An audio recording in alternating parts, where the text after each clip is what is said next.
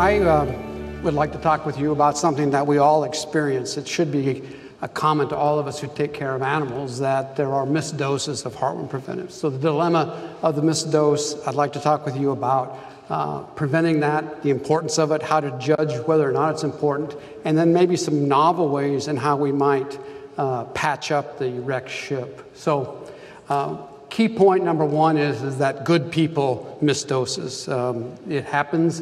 Uh, I think um, one of our people here today admitted missing some doses. Um, and here's an example of that. This is uh, a, a, dog in which, at the left side of the screen, you can see the blue stars, which show purchase of product, um, and uh, the negative tests in green as we move from left to right uh, over a period of time from uh, 2008 through 2010. And what you see is, is these people were incredible. Uh, they purchased product uh, most often in uh, 12 uh, dose uh, packets, and um, they came to their veterinarian uh, yearly or perhaps more often. Um, but in 2009, something happened in July, August, and September, and that's the red line. And at that time, no product was purchased and um, the dog developed heartworms. As you look at the far right, was diagnosed in late August in 2010. So these people were amazing, probably as well as you could expect a client to be realistically, and yet something happened and they missed three months and they picked probably the worst three months that they could pick. So good people miss doses. Why does that happen? Well, uh, one is some good things happen. People go on vacation. Uh, maybe they go on vacation and uh, take their dog to an area that has heartworms and you don't have them. Maybe you live in Scottsdale. Um, but, uh, or you go on vacation, the client goes on vacation and leaves the dog with someone else to take care of it, and doses are missed. But oftentimes it's something that's a crisis. So the crisis can be, you know, personal injury. Um, that can be even severe personal injury that ends in uh, death. Um, other things happen. Financial crises occur. This could could happen to a family who's now unable to purchase heartworm preventive. If you look at medical records in, in poor areas, you'll find there are clients who come in and buy one pill once a month, uh, and some crisis will certainly throw them into uh, an inability to uh, purchase product. It also can occur if someone loses their job and now they're looking for work and they are uh, distraught about this. Uh, another thing that I've observed is, is that oftentimes uh, family projects can uh, come in the way of this, uh, particularly wallpapering, as is shown in this photograph. Um, and uh, this can cause family strife, and people will miss having the house remodeled, for example. Um, and then, of course, there's the, the husband. And the husband is oftentimes to blame, uh, forgets to pick up the medication, leaves it on the dashboard of the car in 110 degrees heat till the medication is ruined. So there's the husband. And then all of these factors can end in divorce, which oftentimes uh, can result in missed uh, administration of medication. And then lastly, uh, many of these things will end up in moving, and that can further complicate the problem. So there's lots of things that will cause families to miss these doses.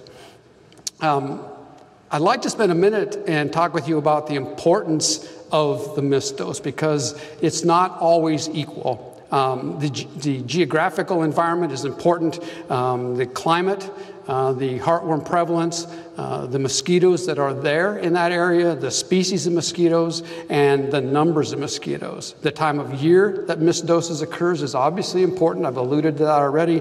And the number of doses missed is really important. The preventive prescribed probably plays a role here, and are they using it in a year round manner? I want to emphasize that all these products are generally effective at preventing heartworm infection.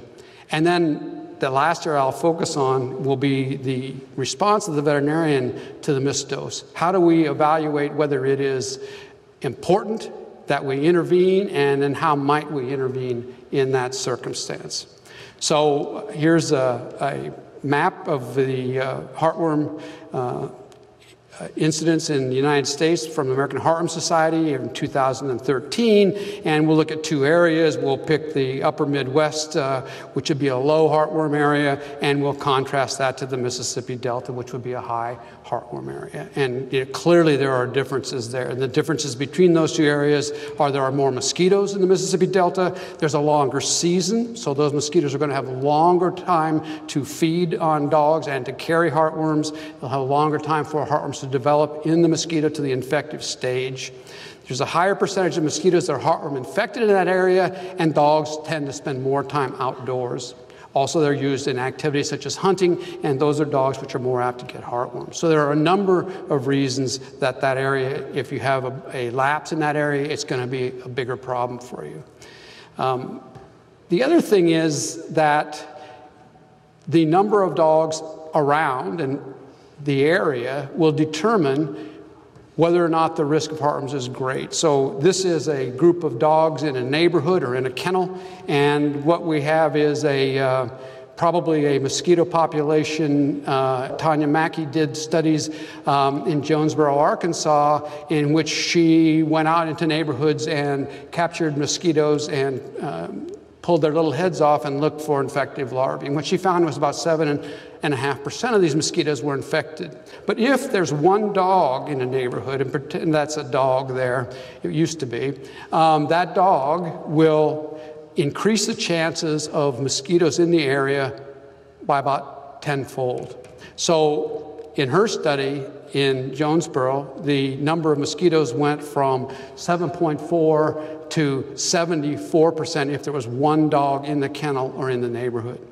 So it's not rocket science, it's not out of anyone's common sense, but the degree with which it changes is quite remarkable. A tenfold increase in the risk that when a mosquito bites you, it's going to be carrying heartworms.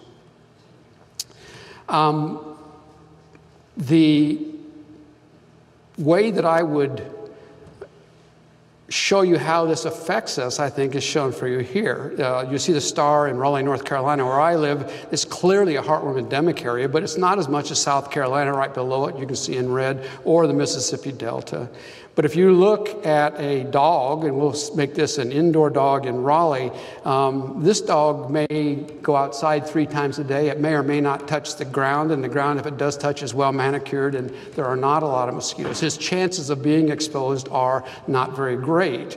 Uh, and it's, I don't know the number, but I'd be willing to bet you um, Dr. Miller's last dollar that it's less than 7.5%. Okay, it's, it's much lower than in the Deep South. So that dog is not at great risk because of its habitation, because of its area. But if we move that dog outside, we'll change things. And so we'll make him an outdoor dog. And what we'll actually do is we'll move him to the Mississippi Delta and we will make him uh, a Labrador Retriever. Now, the reason for that is, is because people in the Mississippi Delta oftentimes complain that the Labrador is, is the breed that is most often affected uh, by what Uh, are considered to be resistant strains. And probably it has to do with the fact that those dogs stay outside. I picked this picture off the web to show you a dog outside at night, and they probably stay outside all night. In fact, I know they, they largely do. So, what you have there then is a lot of mosquitoes and you have a lot of heartworms. That means then that the mosquitoes that are there are going to be packing a lot of heartworms. So lots of them and maybe 75% infection. So compared to the little dog in Raleigh I showed you, there you have room for error. Non-compliance isn't great, but oftentimes you're going to get away with it. In fact, in that particular dog, most of the time, I believe.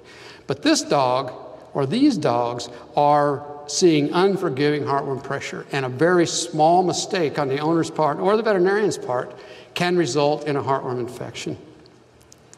So looking at the, um, the um, table from, or the figure from um, the, the studies that were done in which dogs were infected with heartworms, known numbers of heartworms, and they were injected into a known place. And these dogs were followed along and then meticulously uh, dissected by Kotani and Powers to find out when exactly the molts occurred, um, and where the larvae were and how many they were. And so if you look at the beginning there where it says L3 to L4, infection occurs at that point. I think we'll have a mosquito come in there, yeah. So there's where the infection was. In this particular case, this was an artificial infection. And you see that very early, uh, the numbers of L3s, which are 100% right there when the mosquito feeds, will fall off. And in the first week, they're basically gone. And you can see the rise of the L4 larvae.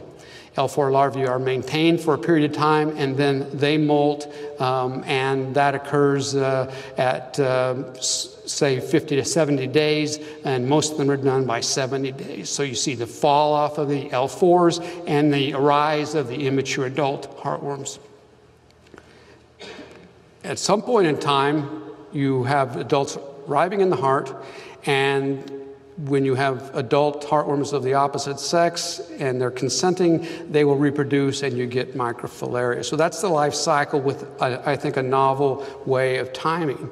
Now, what I want to do is talk with you about how macrocyclic lactones are involved in this. And what I want to show you is that the place that these drugs are most effective is when these larvae are at the L3 and L4 stage. That's where they were first shown to be effective. That's where the studies came from. That's where they work the best. Um, but unlike what I used to teach, uh, they are effective, it turns out, at every stage. They will kill L4s that are molting into immature adults. They will kill immature adults. And the mature adult, if you give them long enough, uh, we know this from our soft kill information from Dr. McCall, uh, that we will kill even mature adult heartworms. But what we need to emphasize here, oh, and we also will kill microfilaria. What I want to emphasize to you, though, is that is the spot. That's the sweet spot, and that's the spot you don't want to miss. And you want your clients to understand that. And from that point down, the heartworm susceptibility falls. And it turns out it's not just with the macrocyclic lactones. So any day that you go beyond that period of time, you are risking heartworm infection, you're risking failure of your products. So these drugs Oh, and I should say that as we reach the microfilaria stage, actually the susceptibility rises. So that fall is, uh, as they mature, when you then have the baby ones around, they become um, susceptible again. But keep in mind that, um, that once we have microfilaria, the dog already is infected with heartworm, so we've, we've missed our boat. So while it's useful, it doesn't uh, affect the discussion that we're having right now. So the point then is, is that if these drugs are quite effective if you give them at 30 day intervals. And we know that you can probably get away with longer than that, but once you go beyond that 30 days, you're opening the window. And if you're in a heavily endemic area, you're increasing the chances of infection. And if you get out, you're out two weeks. Beyond that, you know, some areas you're okay, but now you're not. If you're in the Delta, I think you're not. And if you get out here at 70 days, you know, you're very likely to get the blue dot, which means you now have failed that client or that client has failed you, however the case may be. So what can we do about it? And I'm going to approach this two ways. One is how can we prevent the missed dose? And what can we do if we have a missed dose for damage control? So prevention of the missed doses, one is educate, educate, educate. I think these owners need to understand that there's a window in time that these drugs can be given and be terribly effective. And once we get further outside that window, we start to lose our purchase on this problem. And then I think you may find, or you, you probably know this, but different families are going to do better with different preventives. We have an incredible number, variety, uh, methods of administration of these products, and one is right for each family. They probably all are not. So we'll come back to that. Damage control after there's a missed dose or doses, I think is more interesting. So, first of all, I think if we can ascertain when the last dose was given, that's useful to us. And if this was greater than seven months ago, we should probably check that dog at, on this visit to see if it's infected with heartworms. If it's less than seven months, then we need to figure out when we want to test this dog. We want to test it probably uh, seven months after it went off its preventative or seven months from that date, depending on what you and the client decide to do. And then we're going to take some appropriate measures, which I'll, I'll talk to you about next. Um, but we want to be sure at that point in time they're now getting back on preventive, and this needs to be 12 months it should always be 12 months. It should always be all year round. But particularly if there's been a lapse, it needs to be given every month or every six months for the next 12. And then we may make want, want to make adjustments to the treatment protocol. So we don't want to forget about our friend Wolbachia, and uh, here you see a cross section of a heartworm with Wolbachia organisms in the uterus of the, um, of the adult female heartworm, and on the right you see them in the lateral cords, the two places that they stay. And of course, these are necessary for heartworm health, heartworm propagation, um, and uh, we can use drugs such as doxycycline or minocycline to diminish the number of uh, of uh, Wolbachia organisms to help us in our treatment of heartworms. And one of the studies that I think is particularly interesting looked at um, doxycycline as a monotherapy.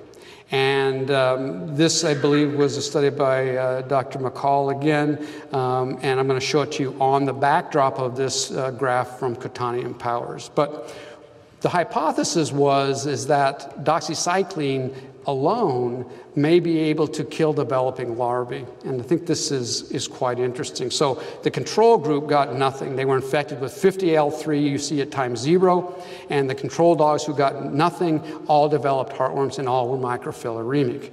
But if they gave 30 do- days of doxycycline at 10 milligrams per kilogram twice a day, the recommendation of the American Heartworm Society, they found that none of these dogs got heartworms. So one way to prevent heartworms is to give doxycycline every day. Now, I don't know that that's the most practical way, but the point is, is you do kill these developing larvae uh, by killing their Wolbachia. Well, what about the second 30 days? And uh, they looked at days 40 through 69 and found that it was almost as good. It dropped to 98% efficacy, so 98% of these uh, 50L3 did not reach adulthood.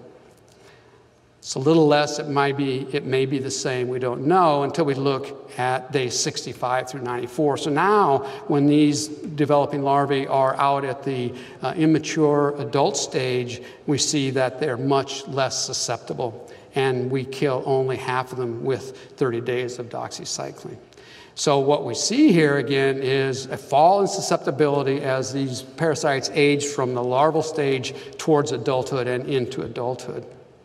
Well, I just want to point out to you that ivermectin and doxycycline are synergistic, and we now know also that imidacloprid and moxidectin is, um, is also synergistic with doxycycline. And so this study was really valuable to teach us about doxycycline, but it may not be maximizing doxycycline's effect.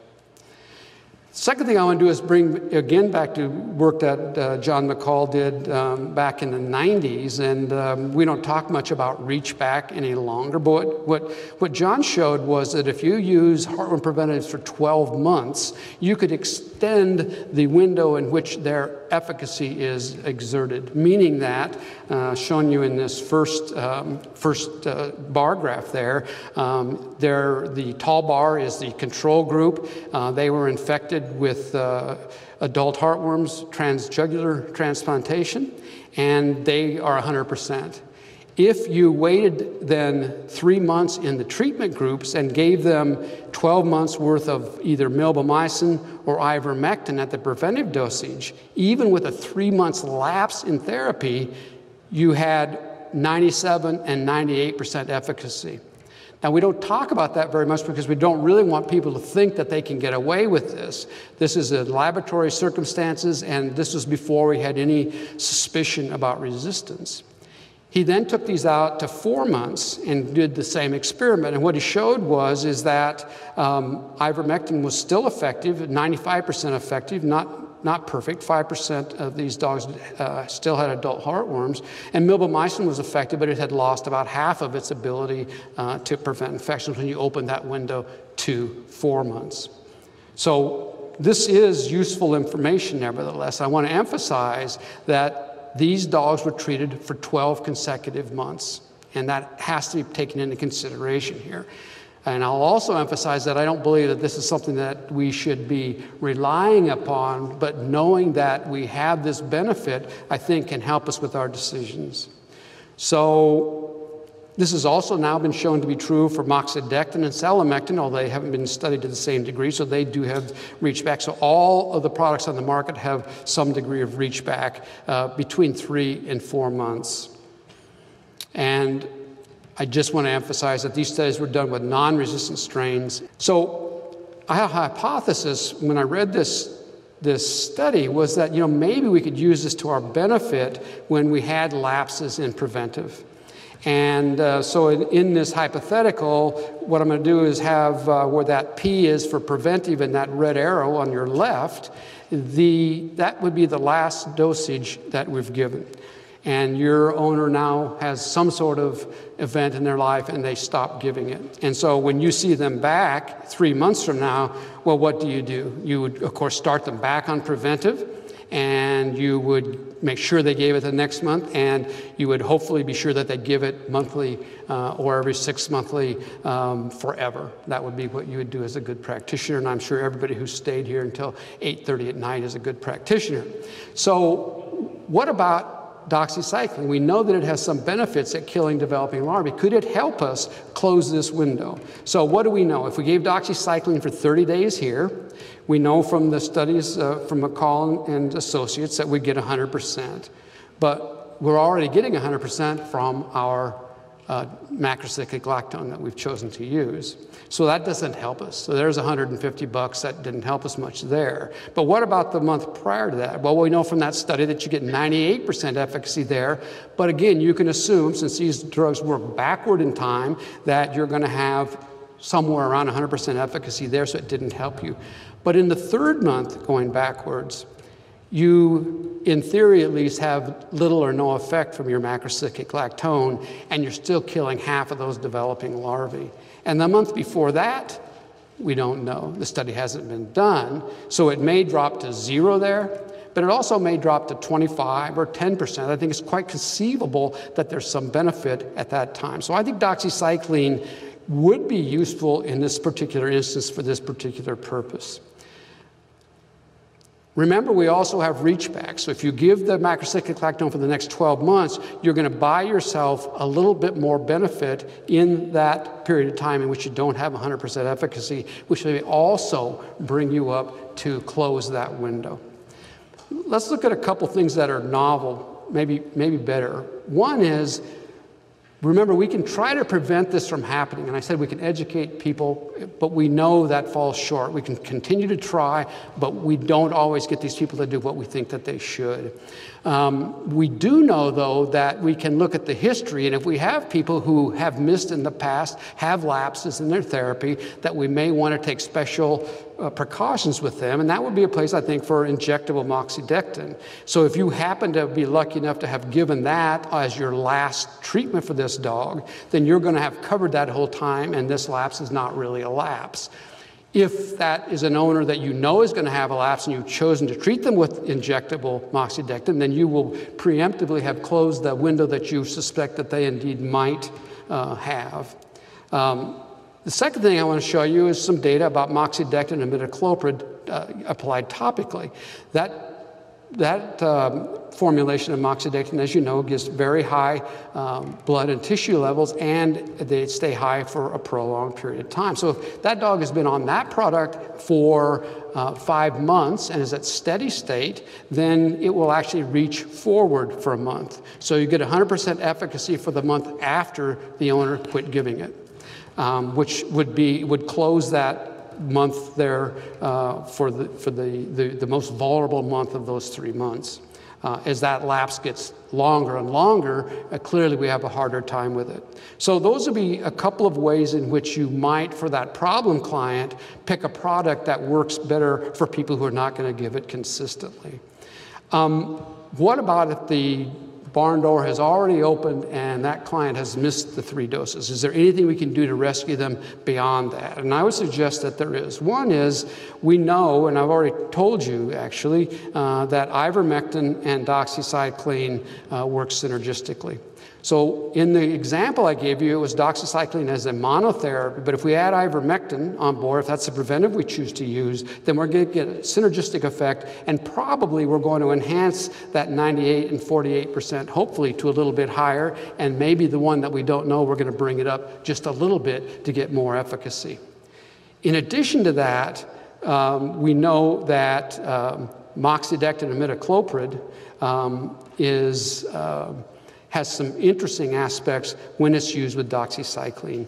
And in a study that was done on experimentally infected dogs, uh, which um, were given moxidectin and imidacloprid plus doxycycline for 30 days, and these dogs were treated for over a year. So again, that idea that if you're rescuing them, you've got to have these people buy in, that we can close the we can close off the the, the mistake if we're if we're really diligent now. But remarkably, in that case, uh, there was uh, 150 days uh, of ability to reach backward in time, so it would completely close that window. So there is a, a particular use for that product.